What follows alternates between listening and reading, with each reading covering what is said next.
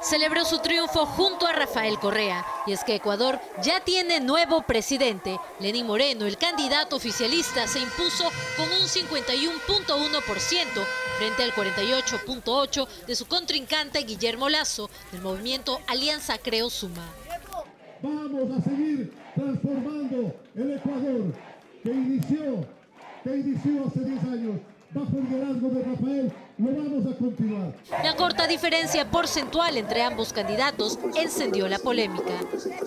Y mientras el partido ganador celebraba la victoria de mano de un mandatario Correa, del lado de la oposición se denunció de inmediato una serie de irregularidades en el proceso y se pidió el recuento de votos.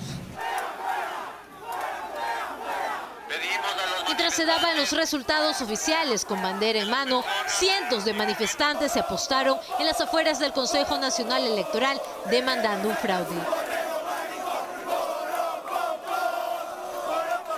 Desde su cuenta de Twitter, Guillermo Lazo hizo un llamado a sus seguidores para tomar las calles y exigir que no se les roben los votos. Por otro lado, Evo Morales, Cristina Fernández de Kirchner y Nicolás Maduro fueron los primeros en hacer llegar sus felicitaciones al nuevo presidente. Se espera que esta mañana el Consejo Nacional Electoral entregue los datos del conteo final.